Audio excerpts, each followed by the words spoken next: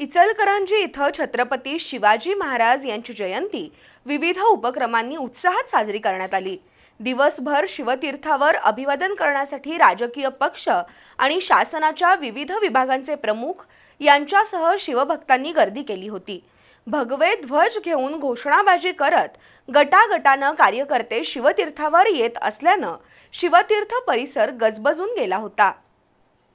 शिवजयंतीचं औचित्य साधून इचलकरंजीतील शिवतीर्थावरून शिवज्योत नेण्यासाठी पहाटेपासूनच कार्यकर्त्यांची वर्दळ दिसत होती.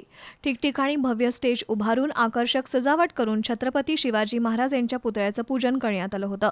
सकाळी तारराणी पक्षाच्या वतीनं शिवतीर्थावर आमदार प्रकाश आवाडे यांच्या हस्ते महाराजांच्या पुतळ्याला पुष्पहार अर्पण करून अभिवादन करण्यात आलं.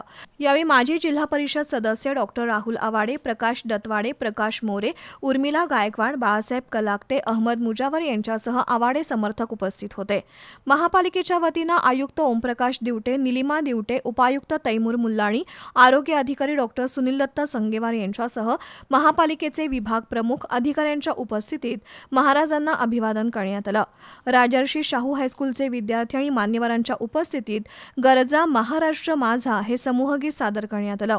मलाबादे चौकातील राज्याभिषेक सोहळा फलकास आणि छत्रपती शिवाजी उद्यानातील अर्धपुतळ्यासही आयुक्त दिवटे यांनी अभिवादन केलं.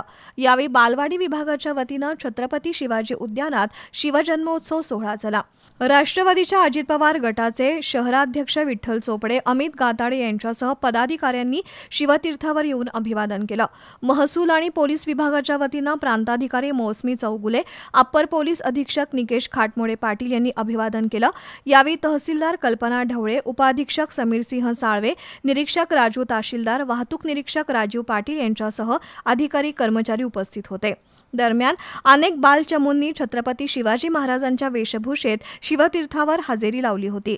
दिवसभर भगवे ध्वज घेऊन घोषणाबाजी करत गटागटानं कार्यकर्ते शिवतीर्थावर येत होते. त्यामुळे शिवतीर्थ परिसर गजबजून गेला होता.